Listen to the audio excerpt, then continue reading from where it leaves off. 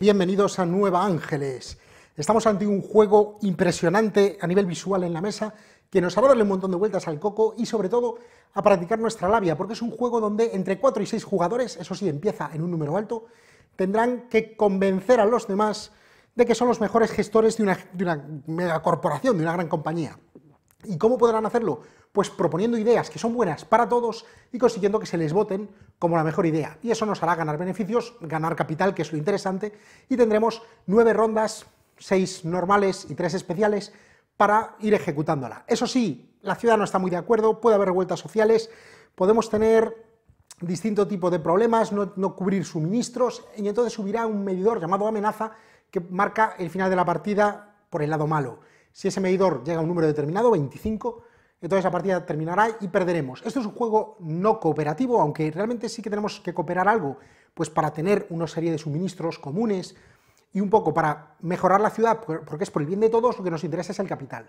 Pero tampoco es individual, digamos que cada jugador puede ganar o perder, así que puede ser que todos pierdan, esa opción existe, o que algunos, uno o más de uno ganen, eso sí, uno por lo menos, siempre perderá es la vida y los negocios.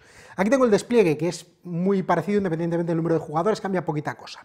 Vale, tenemos el mapa de Nueva Ángeles, tenemos nueve, perdón, 10 eh, distritos, y en esos distritos podemos ir colocando pues, unidades de seguridad privada que protegerán esos distritos y pueden aparecer indeseables como el crimen organizado, los Crimorg, o la eh, banda de humanos primero, que intenta destruir a los androides. Mientras nosotros, como jefes de compañía, intentaremos contar con la ayuda de determinados apoyos especiales que nos darán pues, ventajas y tendremos una serie de cartas de ofertas, cartas, como digo, buenas para todos, que tendremos que ofrecer para que los demás nos voten. Eso sí, los demás también podrán hacer una contraoferta. Al final, los jugadores votarán por ellas y el que, la oferta que gane es la que se cumplirá. Haremos lo que dice la carta, que normalmente pues, será eliminar enfermedades, quitar cortes, apaciguar revueltas sociales, ya que tenemos fichas que indican que podemos tener pues protestas o incluso huelgas, ¿vale? En la ciudad, lo cual es malo. Bueno, pues haremos lo que tengamos que hacer, pero el que gane, el que se la lleve, además se llevará este apoyo que siempre es útil. Tenemos una serie de apoyos que se irán poniendo en juego durante cada una de las rondas. Es decir, en este caso, cuatro apoyos, ese que acabáis de ver, y tres más en cada ronda. Vale, los jugadores intentarán de esta manera, pues ir mejorando la ciudad, intentar pues que haya seguridad privada, que no haya enfermedades, que no haya revueltas, que no haya cortes, incluso desarrollar algunas zonas para que produzcan más y también intentarán aumentar estos suministros. Cada suministro hay cinco tipos de recurso, ¿vale? Que son energía, bienes de consumo, tecnología, entretenimiento y créditos, tienen un objetivo en cada par de rondas, digamos, tienen un objetivo al que hay que llegar, que son estas fichas amarillas. Tenemos que llegar hasta ellas o superarlas. Así que entre todos, y esto afecta a todos los jugadores, para bien y para mal, así que entre todos tendremos que intentar llegar eso, llenar eso hasta ahí. Pero claro, no olvidemos que cada uno de nosotros tendrá un capital que cuanto más alto, mejor pero como os decía, hay una ficha de amenaza que nos podrá coartar un poco. Bueno, pues de esta manera irán los jugadores en, cada dos rondas, irán cogiendo apoyos, mejorando la ciudad, subiendo créditos y demás, suministros. Cada tres rondas hay una ronda especial de demanda. Después de dos rondas normales tendremos una de demanda. En esa ronda de demanda tendremos que ver si hemos cubierto lo que nos pide la ciudad, porque como no, lo no hayamos llegado a los objetivos, tendremos una penalización muy alta en amenaza. Además, los jugadores tendrán determinadas inversiones que podrán digamos, ir preparando el terreno en estas rondas numéricas para llegar hasta ellas y ganar un buen capital que siempre está bien. Vale, después de tres rondas de demanda, es decir, dos rondas normales, demanda, dos más, demanda, dos más, demanda, se acabará la partida. Y la victoria, como digo, es un poco peculiar. Cada uno de los jugadores, cada corporación tendrá un rival directo. Si cuando acaban las seis rondas, las nueve rondas de hecho, la tercera ronda de demanda, tenemos más capital que nuestro rival, nosotros hemos ganado. Puede que algún, alguno de los demás también, pero por lo menos nuestro rival, si nosotros ganamos, nuestro rival habrá perdido. O no, porque quizá tenga más capital que su rival. Vale, fijaos que esto puede ser como la pescadilla que se muerde la cola. Hay excepciones, podemos ser nuestro propio rival y entonces tendremos que ganar si tenemos, o ganaremos si tenemos más capital que tres de nuestros rivales, o tres de nuestros oponentes, digamos, del resto de jugadores, e incluso tenemos uno especial, el federalista, que solo ganará, fijaos, esto es el caos, si la amenaza llega a 25, que es cuando todos pierden, pues él ganará si tiene 25 de capital, si no, tampoco. ¿Parece mucho? No es tanto. Al final sí que hay mucho componente, es muy visual y hay bastante que gestionar y bastante labia que dar, pero realmente no es para tanto. Tendremos también algunos eventos que serán malos en general para todos, pero podremos ir preparándonos y muchas cartas de acción para hacer esos tratos e intentar que nos apoyen en la medida de lo posible. Vale, esto es Nueva Ángeles, pero es difícil condensarlo en 5 minutos. Así que si queréis ver más, porque el juego lo merece, atentos a este no muy corto tutorial. Nueva Ángeles. Aquí tenéis el mapa con todas las secciones y también están por los lados todos los componentes. Vamos a ir viéndolos de uno en uno, poco a poco, pero vamos a ir colocándolos todos porque es más fácil entender este juego con una visión completa de todo lo que hay. Lo principal del tablero son las secciones. Esta es la ciudad de Nueva Ángeles, que tiene 10 distritos diferenciados que vienen con su nombre y su número, ¿vale? Aquí tenemos desde Guayaquil, que es el 1, Quinde, el 2, 3, 4, 5, 6, 7, 8, 9, hasta base de Cayambe, que es el 10. Y luego tenemos una zona especial que se llama La Raíz, es como la zona de descarte. Estos distritos componen esta ciudad de Nueva Ángeles y además se dividen en tres secciones. La primera sección vienen todos con el borde azul y además tienen una rayita, como veis aquí debajo del nombre. La segunda sección son estos tres que están con el borde amarillo y tienen dos rayitas. Y la última sección son estos que vienen con el borde rojo y tienen tres rayitas, ¿vale? Que es un poco el nivel de, ese, de cada uno de esos distritos. Los distritos tienen unos huecos para poner fichas y tienen también unos recursos que proporcionan. Pueden tener uno o pueden tener dos. En caso de que tengan uno, es el recurso principal. Viene rodeado por un círculo del color correspondiente. En este caso, como es un distrito de nivel 1, es de color azul. Aquí veis un recurso, en este caso es energía, ahora os comento los que hay, marcado como color azul, es el recurso principal. Aquí en Laguna Velasco, por ejemplo, que es amarillo, tenemos un único recurso, que son créditos, que es de nivel, eh, perdón, que es amarillo por ser un distrito de nivel 2. Y aquí tenemos un recurso ¿vale? en base de Cayambe, que es de energía, y como veis en rojo porque es de nivel 3. Y algunos tienen, como digo, dos recursos, recurso principal, tecnología, recurso secundario. El recurso secundario no viene con el círculo para diferenciar, diferenciar. Aquí sería crédito, por ejemplo, aquí sería tecnología, aquí sería entretenimiento, ¿vale? Como veis, no vienen marcados. Bueno, pues esos son los recursos que proporciona cada uno de estos distritos. Los recursos, ya que hablamos de eso, son, en el juego se llama suministros y son estos que aparecen aquí. Y tenemos una, serie de medidores y unas fichas que los acompañan para cada uno de ellos, además de unas fichas especiales que son las fichas de objetivo. Veréis, tenemos cinco recursos que son la energía, recurso verde, este es su medidor y aquí tenemos su ficha para indicar en qué nivel está. Fijaos que va por número, ¿vale? Desde 0 hasta 10. ¿Qué pasa? Que no todos los recursos llegan al mismo nivel. Por ejemplo, la energía solo puede llegar hasta 4, de ahí no puede pasar. los bienes de consumo, la gota de agua, puede llegar hasta 6.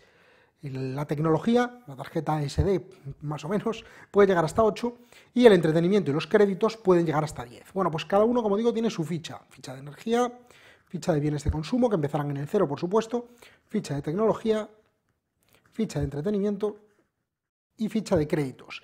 Por si alguien se lo está preguntando, los recursos son colectivos.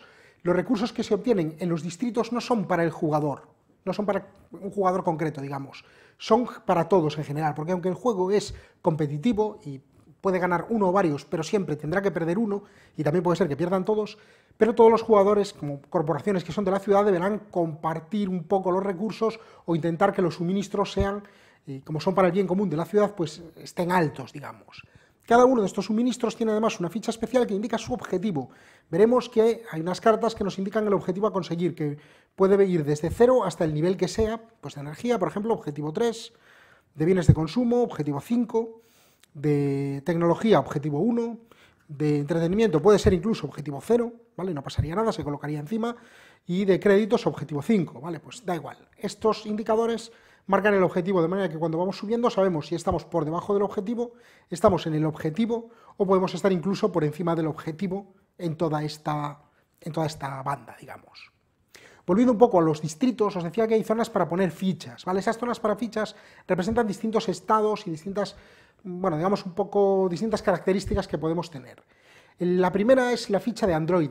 Estas fichas redondas se pueden colocar en tres distritos. Hay tres fichas de Android y se pueden colocar en tres distritos. Se podrán mover entre distritos y ningún distrito, por supuesto, podrá tener más de, una ficha de, Android. Vale, estos androides representan que el distrito se explotará en un determinado momento del turno y producirá precisamente esos recursos que subirán el indicador de suministros. ¿vale? Después todos tienen una zona, voy a usar solo este, pero son todos iguales, ¿vale? Tienen una zona que es para poner distintas fichas. Estas fichas representan un poco, pues, la, revuelta social que tenemos en, la ciudad. podemos tener un distrito estable, sin nada, podemos tener un distrito con revueltas, esta ficha en color amarillo, si eso sigue podemos tener un distrito en huelga, lado rojo, e incluso podemos pasar a un distrito con cortes. Cuando un distrito tiene cortes de suministro, malo. Bueno, en huelga también sería malo, ¿vale? Pero eso sería la, la peor opción, digamos. Fijaos que el hueco es único porque es como evolucionando, ¿vale? Desde estable hasta cortes. Vale, y tenemos, voy a dejar pues, la de cortes, por ejemplo, para que veáis dónde va, y esta pues, podemos ponerla en otro sitio. Y luego tenemos un hueco más para una ficha de desarrollo. Algunas habilidades, algunas cartas nos permitirán poner una de estas fichas de desarrollo, que tienen como veis un corte distinto, en los distritos. Esto hace que el recurso principal, si tuviera dos, si no, pues el recurso que haya, aumente en uno. Es decir, esto hace que aquí se produzcan cuatro créditos. Si estuviese aquí, se producirían dos de entretenimiento y uno de bienes de consumo. Solo aumenta el principal. Y solo podemos tener una de estas fichas en los distritos. Por último, tienen un pequeño hueco para estas fichas de, bueno, de biohazard, de peligro biológico, que es para indicar enfermedad. Los distritos pueden tener enfermedad, lo cual no es nada bueno. ¿vale? Todas estas fichas eh, van en conjunción también con algunas miniaturas de plástico, que veis aquí, que realmente no son de ningún jugador, sino que representan otros estados, podrían haber venido representadas con fichas, pero la verdad es que queda más bonita así. Y es que hay tres colectivos que pueden estar en los distritos. Tenemos el colectivo de Crimorg, el crimen organizado, como veis, viene representado por una miniatura de un señor con dos pistolas, ¿vale? Puede estar en el distrito. Solo puede haber uno, de manera que no hace falta tener más, ¿vale? Tenemos las unidades suficientes para colocar en los, en los distritos. Luego tenemos a las unidades de SegPrib, seguridad privada, que como veis son una especie de mercenarios que nos ayudarán a proteger los distritos.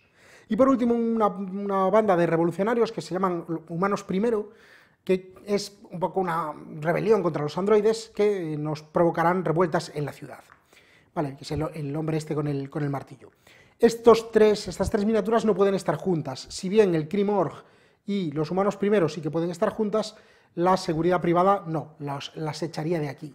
Cuando hay que mover, bien sea una miniatura, bien sea una ficha, porque esta ficha se puede mover, la ficha de cortes o incluso la ficha de estado, si hay que ponerla, como solo puede haber una, como veis hay un hueco, pues eh, tanto esas fichas como, como digo, las miniaturas se pueden mover. ¿Y cómo se mueven?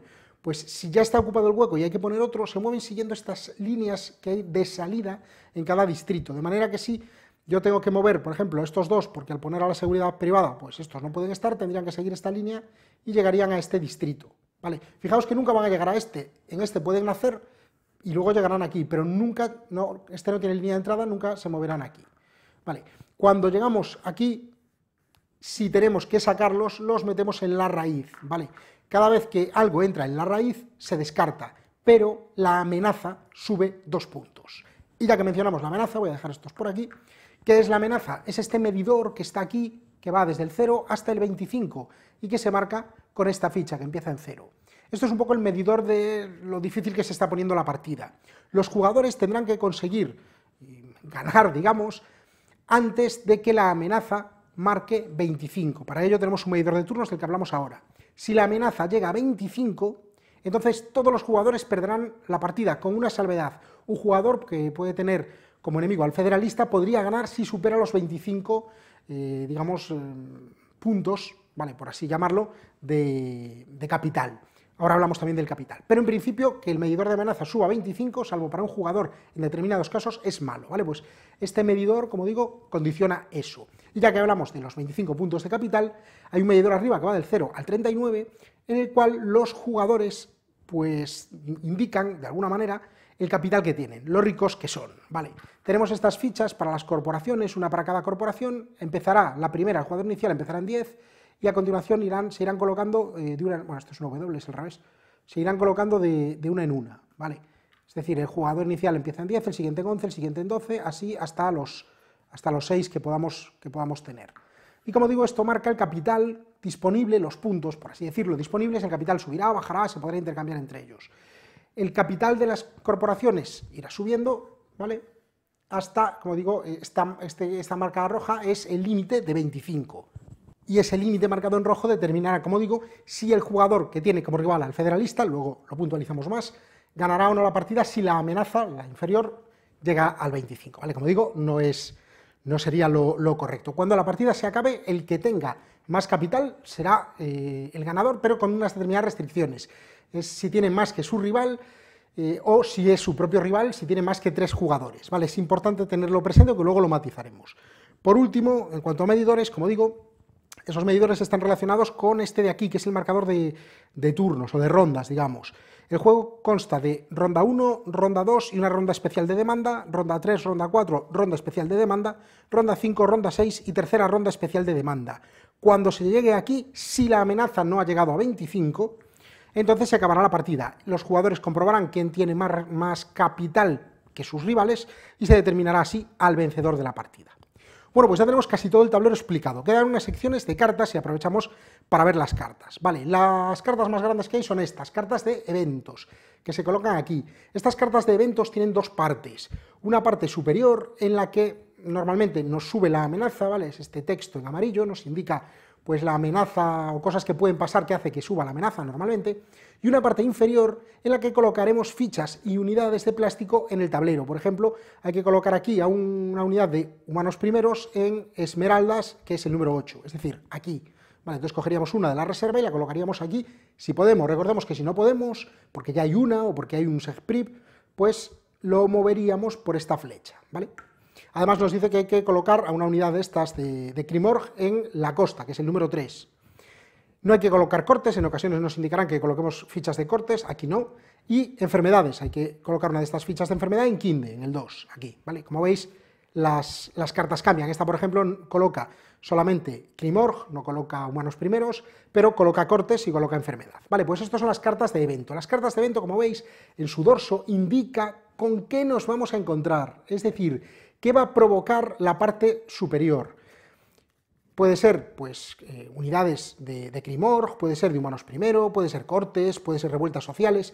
¿Eso por qué está así? Porque así los jugadores durante la ronda, porque esto es al final de la ronda y se coloca en esta zona como veis, sabrán qué va a pasar al, o qué puede pasar al final que haga que suba la amenaza. Por ejemplo, con esta carta posiblemente la amenaza suba según las unidades de Crimorg que hay. Así que los jugadores, como lo están viendo, intentarán durante el turno bajar el número de unidades de Crimorg para que cuando resolvamos la carta haya pocas o mejor ninguna y así evitemos que suba la, amenaza. Vale, luego tenemos unos mazos más sencillos aquí. Por un lado tenemos el mazo, eh, un lazo no, perdón, por un lado tenemos el mazo de inversiones, que es este. Estas cartas de inversión son unas cartas especiales, los jugadores tendrán dos en su poder, o empezarán con dos, las leerán, se quedarán con una y la otra la devolverán. Y después de cada fase de demanda cambiarán, es decir, podrán llegar a tener hasta seis, de las cuales se quedarán con tres, ¿vale? y tendrán que cumplir. Es simplemente algo, una estrategia a largo plazo, una inversión, si se consigue en algún momento, sea en el turno del jugador que sea, si se cumple lo que aquí pone, que los recursos estén en un nivel determinado, que pase cualquier cosa, se revela en ese momento y se gana la recompensa que aquí indica. Bueno, pues este mazo se colocaría aquí, donde pone inversiones, ¿vale? Es, es un poco abajo, pero bueno, no se ve mucho, pero se colocaría en esta zona de inversiones, ¿vale? Voy a dejarlo un poco así. Luego tenemos otra sección para demandas. Estas cartas de demanda indican los objetivos de los recursos. Os he dicho que hay fichas para los objetivos de los recursos que puede ser incluso cero. Vale, pues cuando revelemos una de estas sabemos dónde tenemos que colocar. Por ejemplo, si revelamos esta, aumento del turismo, nos dice que la energía tiene que llegar a, 2, que los bienes de consumo pueden estar a cero. Eso ya lo tenemos cumplido. Que la tecnología puede estar a cero también que el entretenimiento tiene que estar a 5. Claro, estamos hablando aquí de turismo, así que entretenimiento a 5.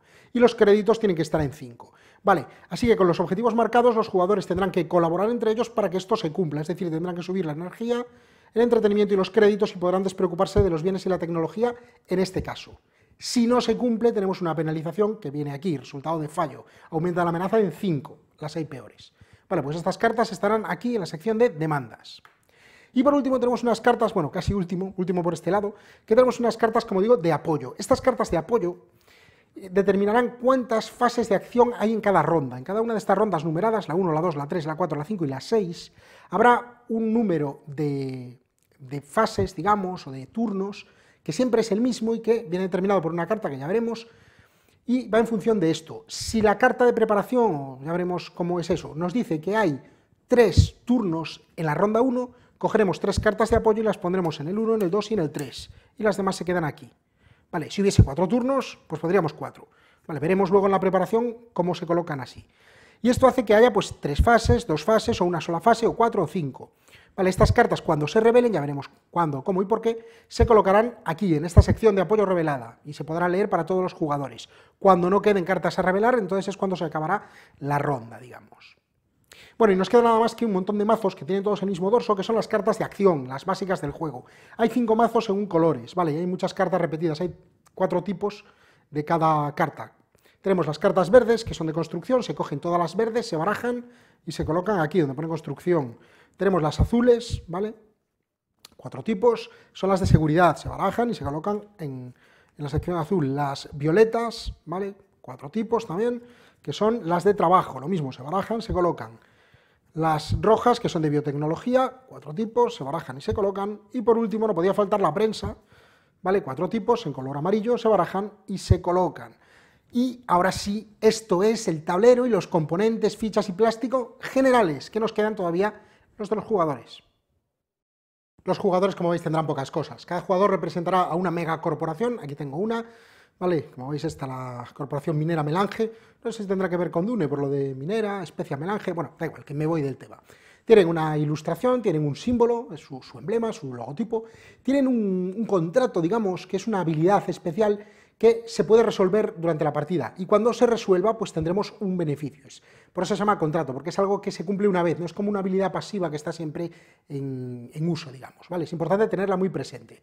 Tenemos el nombre y demás, y bueno, aparece ahí el propietario, el representante o lo que sea, y también aparece un tipo de cartas que puede robar, ¿vale? En este caso sería tres cartas eh, de tipo general. General quiere decir de cualquiera de los cinco tipos de colores que os he enseñado, de las cartas de acción, ¿vale? De trabajo, de tecnología, de prensa, etcétera. Pues había cinco tipos, pues en este caso es robar tres cartas, una de cada. Cuando son generales, por eso he cogido esta, esta facción, porque es la más representativa, cuando son generales, que podemos coger cualquiera, tienen que ser distintas a las cogidas, ¿vale? No vale coger tres cartas de lo mismo.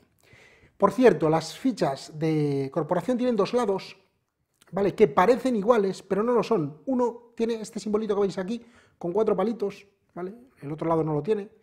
¿Vale? Este es el lado que hay que usar si estamos jugando cuatro jugadores, el número mínimo de la partida, ¿vale? La partida va de 4 a 6. Con cuatro jugadores se usa este lado, pueden cambiar las cartas, puede cambiar el contrato.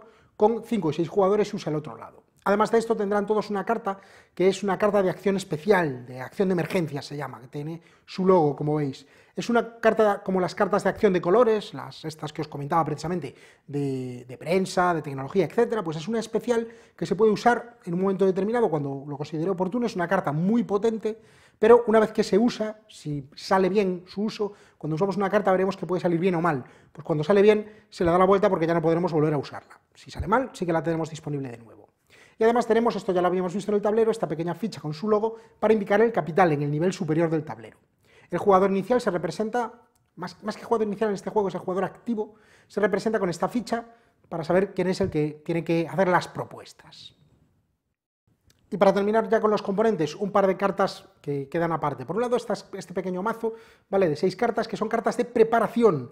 Estas cartas indican, se cogerá una al azar, se barajarán y se cogerá una al azar, e indican dónde se colocan las fichas, las unidades, bueno, cómo desplegar el tablero, digamos, al principio, lo veremos a continuación, y también cuántas rondas va a tener o cuántos turnos va a tener la primera de las rondas de juego. ¿vale? Esto varía. Para la primera partida no se usa ninguna de estas, es recomendable usar una preparación concreta que indica el manual. Y luego tenemos este otro mazo que tiene los logos de cada federación, perdón, de cada, de cada corporación y una carta, hay seis, por tanto, y una carta más especial, que es la carta de federalista. Esto representa el rival directo de nuestra compañía.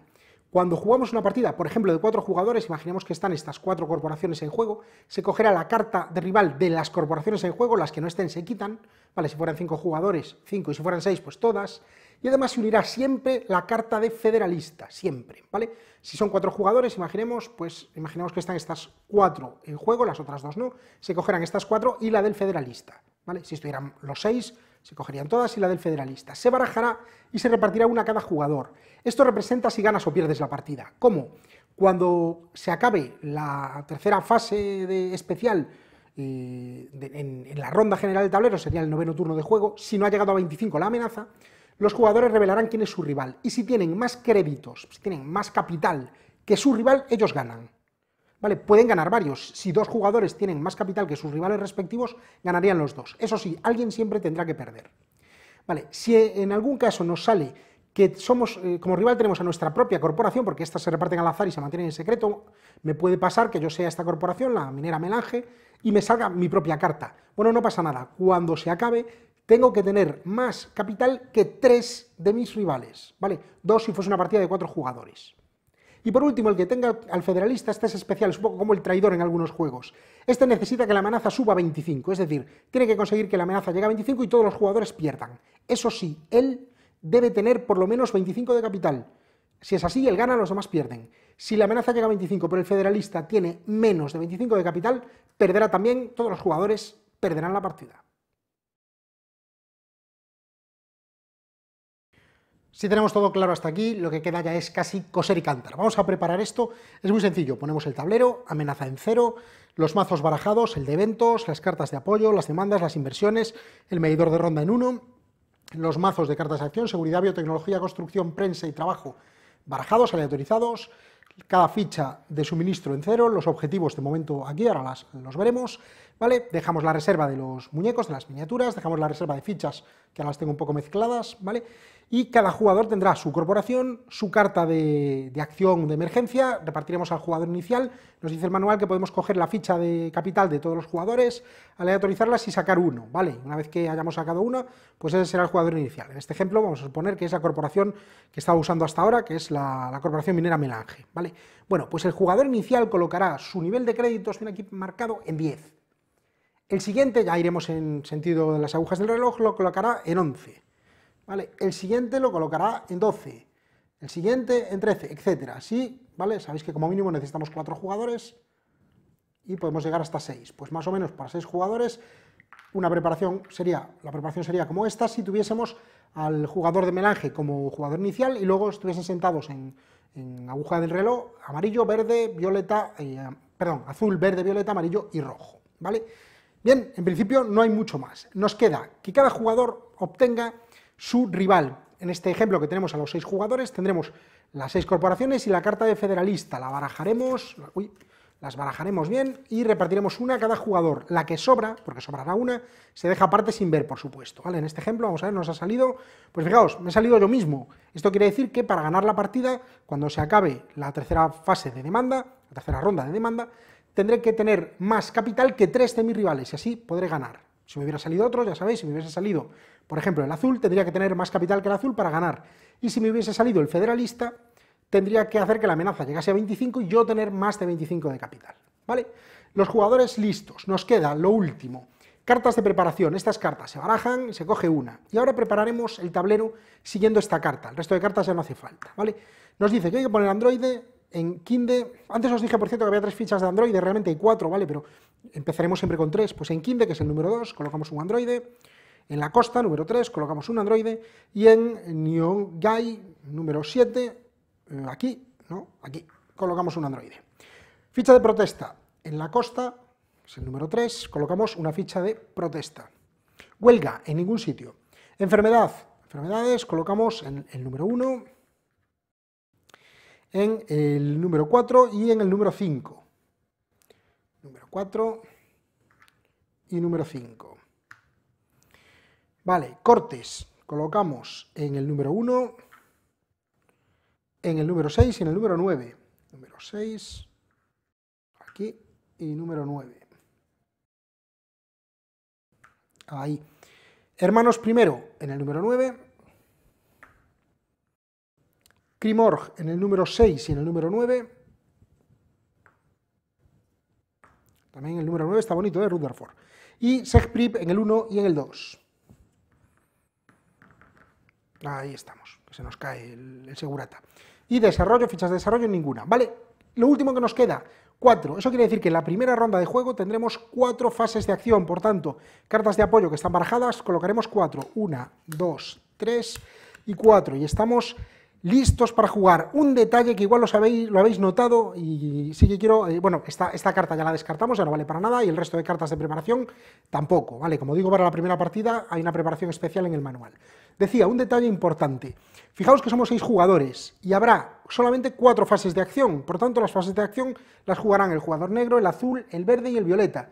el amarillo y el rojo no jugarán fase de acción, porque no hay, ¿vale? Solo hay cuatro fases de acción, diréis, qué raro, no está nivelado. Bueno, en cada ronda puede que haya jugadores que no jueguen, puede pasar, pero a lo largo de la partida, de las seis rondas, todos jugarán más o menos el mismo número de turnos, os lo aseguro.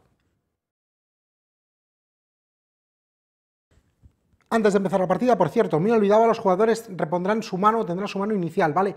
En este caso, en este ejemplo que tenemos, son tres generales, es decir, tres de cualquier tipo y además como es una, una y una, ¿vale? No se puede repetir. Sería distinto que pusiese, por ejemplo, dos generales y una general. Entonces podríamos coger dos, por ejemplo, iguales y luego una diferente. Pero como es una, una y una, pues son tres diferentes. Voy a coger pues una azul, una roja y una violeta, por ejemplo, ¿vale? Esta será mi mano inicial. Estas cartas de acción son cosas beneficiosas en principio para la ciudad, por tanto para todos, ¿vale? No es nada que ataque directamente a un jugador, sino que lo que hace es mejorar, pues quitar cortes, apaciguar las, las revueltas que podamos, que podamos tener y mover a los androides, que son las zonas, digamos, que producirán, lo veremos a continuación.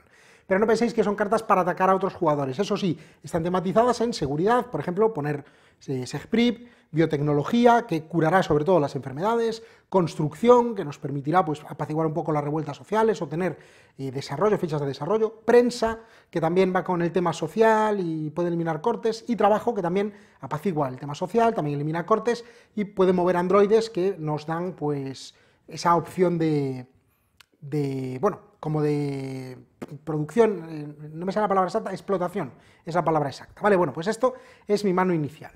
Vale, ahora sí, ahora vamos al turno. El turno, eh, bueno, aquí hay que diferenciar entre ronda normal, que habrá 6, las numeradas, y ronda especial de demanda, que habrá 3, y luego se acabará la partida. Una ronda normal, de las numéricas, tiene tres pasos, tres fases, ¿vale? Que se jugarán en orden. Y son la fase de acciones, que es la principal del juego, la de producción, ¿vale? Que tiene que ver con esto, y la de eventos, que tiene que ver con los eventos que tenemos en juego. Antes de empezar con la primera, nos falta marcar el objetivo de suministros, que será después de las fases de demanda. Para ello, levantamos la primera de las cartas de demanda, que podemos dejar boca arriba, pero para que la veáis bien la pongo aquí, y colocamos esto tal como nos dice. El objetivo de energía en estas dos primeras rondas es cero, y digo dos primeras porque esto lo veremos en la, en la demanda. Los bienes de consumo es cero también, aquí no nos importan los bienes. La tecnología es de 4, el entretenimiento es de 4, y los créditos objetivo de 3. Con esto, claro, ah, por cierto, y el resultado de fallo es aumentar la amenaza en 7, ¿vale? Mucho ojo con ella, ¿vale? Pues la dejamos aquí y listo. Vale, la primera fase del turno, como digo, es la fase de acciones, y la fase de acciones consta de tres pasos. El primero de ellos es el paso de recuperación. Algunas cartas, sobre todo de apoyo, se girarán durante la partida, se agotarán. Bueno, pues ahora es el momento de ponerlas derechas. Además de eso, cada jugador robará las cartas que le indica. Por cierto, no he repartido las inversiones. Cada jugador, como os decía antes, recibirá dos cartas de inversión, las verá, se quedará con una y la otra la devolverá pues, a la parte superior del mazo, por ejemplo. ¿vale? Importante, me olvidaba de ellas y son importantes porque esto determinará, ahora que tenemos los recursos, que nos interesará. Por ejemplo, esta que tengo aquí dice, obtén capital en función de la cantidad de fichas de cortes que haya en la ciudad. Bueno, esta, en este caso es sobre fichas de cortes y no sobre suministros, pero también es una, una inversión. Una ficha de cortes, ¿vale? De estas, me daría 3 de capital, dos fichas de cortes, 5 de capital y tres o más fichas de cortes, 7 eh, fichas de, de capital, ¿vale? Pues es importante tenerlo presente. Decía, lo primero entonces, le ponemos derechas las, mm, las cartas, sobre todo de apoyos, que tengamos giradas, y robamos cartas. Nuevamente son tres que tienen que ser distintas. Pues voy a robar de biotecnología, que hay bastante enfermedad por aquí, de construcción y de trabajo, para ver si ponemos algo aquí a funcionar. Con esto tengo mi mano de cartas de acciones, a las que hay que sumar la carta de acción especial siempre, de acción de emergencia, que tenemos que tenerla presente. Recordemos que estas cartas son buenas, entre comillas, buenas para todos. El segundo paso de esta primera fase de acciones es el más importante, digamos, es la fase de acuerdo, digamos, o el, paso de acuerdo. Y aquí es donde se tiene en cuenta el jugador inicial y precisamente estas cartas. Veréis, esto es un juego de mucha negociación. El jugador activo, en este caso, que es el que lleva la, batuta, es la primera, bueno, en la ronda, digamos, debe, lo primero, levantar una de las cartas de apoyo, siempre la que esté más a la derecha, en este caso la número 4. Esta carta de apoyo se lee en voz alta, ¿vale? Dice, cuando adquiera esta carta, descártala, cuando adquieras esta carta, descártala para adquirir las dos primeras cartas del mazo de apoyos de una en una, ¿vale? Es un buen apoyo. Y se coloca aquí, en carta de apoyo revelada. Ahora los jugadores tienen que ver cómo está la ciudad, o el jugador inicial sobre todo, el activo, y con las cartas de acción que tiene en su mano, pues ver cuál es la más óptima, digamos, para la ciudad. Por ejemplo, ¿vale? Pues me puede interesar, eh, como hay bastante enfermedad, que hay tres de enfermedad, me puede interesar esta de tabula rasa, que es retirar hasta dos fichas de enfermedad de la ciudad. A continuación coloca una ficha de cortes en un distrito en el que hayas retirado una ficha de enfermedad. Las fichas de enfermedad no aumentan la amenaza durante esta acción. Las fichas de enfermedad tenemos después que son malas por el tema de la amenaza, así que me interesa retirarlas. Creo que esto es bueno para todos, para la ciudad, así que intento vender mi idea y digo, esta es mi oferta, oferta principal porque soy el jugador activo, ¿vale? Y eh, intento, digamos, como pueda, convencer a los demás jugadores de que apoyen mi idea, de que es una buena idea hacer esto. Sin embargo, el resto de jugadores puede preferir otra cosa. Por tanto, a partir de ahora estamos jugando, ¿vale? Como el negro como jugador inicial, jugador activo, pues ahora el azul puede, eh, si quiere, puede plantear una contraoferta. De las cartas que tenga en su mano puede decir, no, yo creo que es mejor pues hacer esto. La lee, lo explica, da sus detalles, intenta hablar con los demás y decir por qué, y la colocaría en contraoferta. Y ahora le tocaría al verde, que podría pasar, o podría querer poner otra contraoferta. No le gusta ni la principal ni la que ha puesto el jugador azul. Vale, si pasa, pues no pasa nada. Le tocaría al violeta, que podría lo mismo, poner una contraoferta. Y luego al amarillo, que podría poner una contraoferta. Y por último, el rojo podría poner una contraoferta. Da la impresión de que el último lo tiene más fácil, porque nadie le va a contraofertar su contraoferta, pero cada vez que alguien quiera poner una contraoferta, si ya hay contraofertas, debe descartar una carta de su mano. ¿vale? Según el número de, cartas que haya. Por ejemplo, si el azul pone una contraoferta y el verde quiere poner otra, como hay una ya, debe descartar una carta de acción de su mano y ahora puede poner otra contraoferta. Si ahora el violeta quisiese poner otra contraoferta, como ya hay dos, tendría que descartar dos cartas de su mano para poner otra contraoferta. De esta manera tampoco es que haya muchas contraofertas normalmente, pero habrá eh, oferta principal y contraofertas. Cuando todos hayan tenido la oportunidad, hasta el último, hasta el rojo, de poner una contraoferta, quedan siempre la oferta principal, que es la del jugador activo, y una contraoferta, la última que haya, que se convierte, convierte al jugador que la ha puesto en el jugador, digamos, eh, de la oposición. Bueno, pues ahora los demás, el que no es el principal ni el opositor, los demás deben decidir a quién apoyan. ¿Y cómo lo hacen? pues nuevamente hacemos una ronda solo entre ellos que con cartas de su mano dirán si quieren apoyar a esta, si quieren apoyar a esta o a ninguna, y con cuántas cartas. Si alguien piensa, por ejemplo, el amarillo piensa que esta opción es muy buena, puede jugar pues tres cartas de su mano, por ejemplo, ponerlas aquí como de votos. ¿Vale? Y aquí puede haber más. Cuando todos hayan votado, veremos en qué montón hay más cartas. ¿Vale? En caso de empate, si hubiese el mismo número de cartas aquí que aquí, incluyendo ninguna carta, si no hubiese ninguna carta, o incluso si no hubiese contraoferta, claro, pero bueno, si hay contraoferta y el número empata o no hay, gana siempre la oferta principal. Solo ganaría la contraoferta en caso de que hubiese más cartas de voto en la contraoferta que en la oferta principal. Una vez que se ha decidido quién gana, se ejecuta lo que dice la carta, retiramos fichas y demás, y el jugador dueño de la, oferta, bien sea el jugador activo o el de la contraoferta, si es la que gana, se lleva el apoyo a su zona. Vale, y este apoyo, como veis, sí que tiene actividades, perdón, eh, habilidades que son pasivas y algunas sí que son eh, al final del turno, una vez por turno, que hay que agotar. Me la llevaría a mi zona y queda permanentemente para mí este apoyo. Vale, las ofertas luego se descartarían, todas todos los descartes se colocan aquí en la zona de papelera, y luego pues se barajarían, si se ponen boca abajo, por cierto, y luego se barajarían. Vale, para esto vale esta zona, y así es como hacemos las ofertas y vamos evolucionando un poco la ciudad entre todos, y tenemos que demostrar que somos los mejores negociadores. Por último, para finalizar la fase de acción, después de este tercer paso, pues, eh, perdón, después de este segundo paso, el tercer paso sería simplemente ejecutar las acciones de fin de turno si hubiera y pasar esto de jugador activo al siguiente jugador, en este caso el azul, que será el que tenga que levantar un apoyo, etcétera. ¿Vale? Así son, o así es la primera de las fases del turno, la fase de acciones. La segunda fase es la fase de producción. La fase de producción, cada distrito que tenga una ficha de Android producirá los recursos, el principal y el secundario. En principio, ahora vemos las salvedades, se produce un recurso de energía, ¿vale? Se produce un recurso de bienes de consumo, que fijaos que estos dos no nos valían para nada, ya tenemos el objetivo cubierto, y un recurso de créditos, este sí nos interesa para acercarnos, un recurso de entretenimiento, también nos interesa, y uno de bienes que no nos interesa lo más mínimo, ¿vale?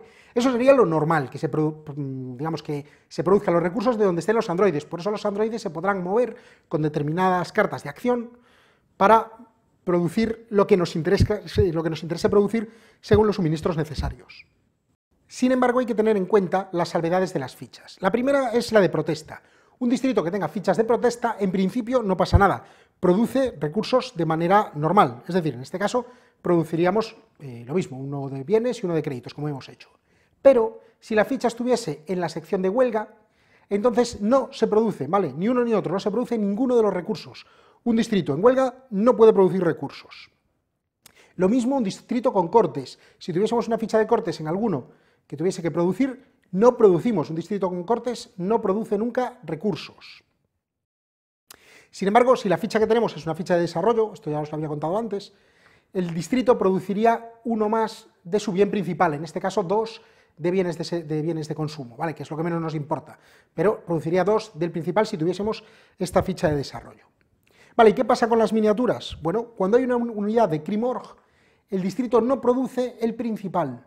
Vale, si este Crimorg estuviese aquí, bueno, y aquí no hubiese huelga, claro, se produciría solamente un crédito, no produciríamos recurso principal. En cuanto a los humanos primero, un distrito que sea explotado y tenga humanos primero, aumenta en dos la agitación. ¿Qué significa esto? Bueno, cuando se explota un recurso, un, distrito, se cogen los recursos, se aumenta en uno la agitación. Uno como este, que no tiene agitación, se lleva una ficha de protestas. Uno que ya tiene protestas se, pondría en huelga, fijaos, luego ya no produciría.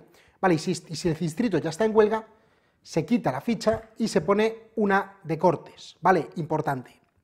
Bueno, pues si tenemos, vamos a suponer que esto estaba, bueno, pues como estaba, si tenemos a uno de los humanos primero en la zona, cuando se, aumenta, cuando se explota y se tiene que aumentar esto, se aumenta dos veces, es decir, pasamos a huelga y pasamos después a cortes.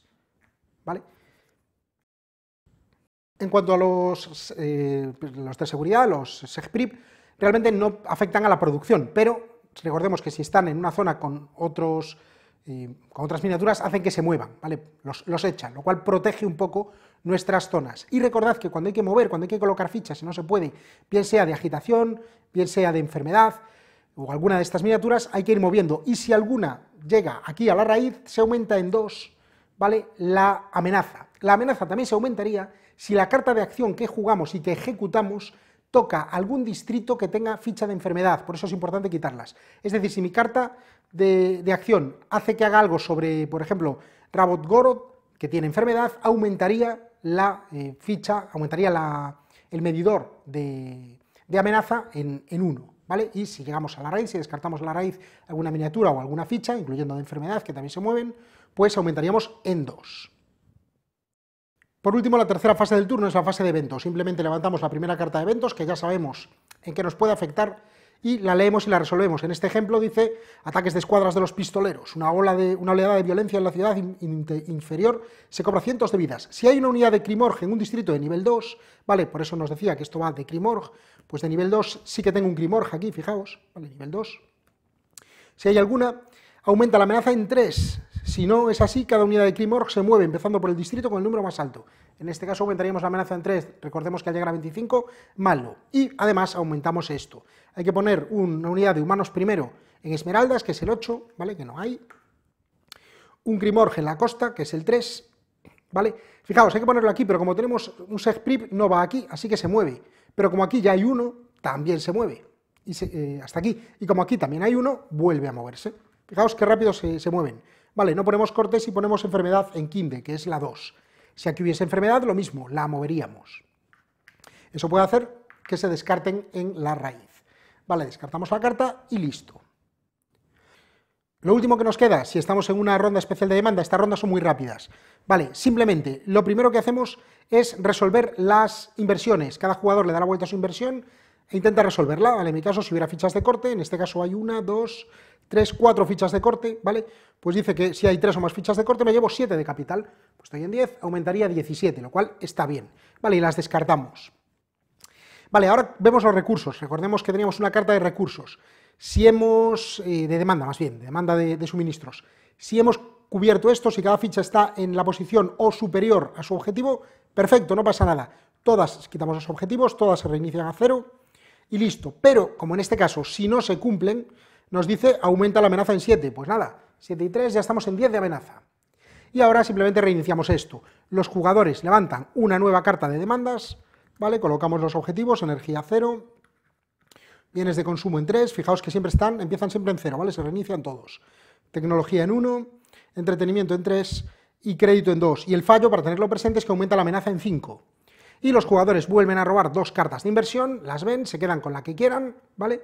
Y la otra, pues la devuelven al mazo. Y así ya estamos listos para la siguiente ronda. Después de la tercera fase de demanda, solamente tiene dos pasos en este caso, que sería cobrar las inversiones y eh, ver si hemos cubierto los recursos para subir la amenaza. Y ahí se acabaría la partida.